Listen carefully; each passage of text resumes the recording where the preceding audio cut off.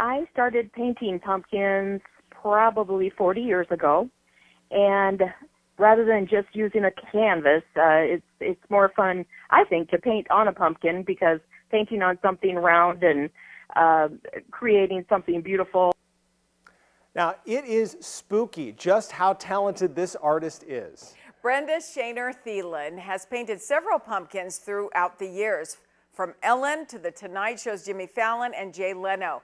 Now meet Drew Kula and Drew Frankenmore, based on Drew Barrymore.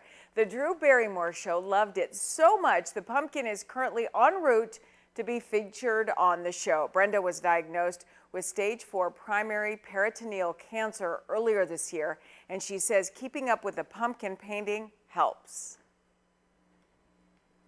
And I had to quit daycare and quit my job at the Sioux City Art Center, and uh, which was devastating because when you do something for so long, it's it's hard to say goodbye. To sit and relax, and it's almost like meditation, painting, uh, soothing your brain, your mind. Since all this has happened, the painting has uh, has really helped to me. Brenda doesn't just paint talk show hosts. She normally paints more than 100 pumpkins a year, and she taught classes at the Sioux City Art Center before her cancer diagnosis.